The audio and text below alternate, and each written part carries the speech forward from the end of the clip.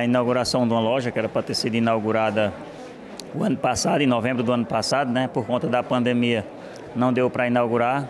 Aí como agora as coisas já foram liberadas um pouco, aí a gente veio né, fazer essa reinauguração da loja aqui, né? Estamos aqui, tem bastante torcedor aí.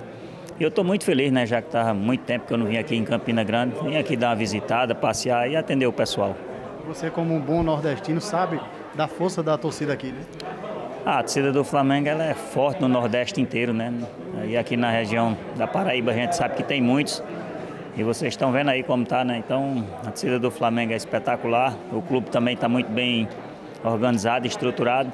Isso facilita também com que o torcedor se empolgue e venha é, participar dos eventos. Você também tem lembranças, né, daqui de Campina Grande quando jogava?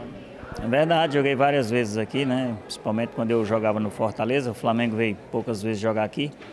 É tanto que eu encerrei, eu acho que naquele campeonato do Nordeste, que a gente foi eliminado aqui dentro para o Campinense. Eu acho que o Campinense foi até campeão é, do Nordeste.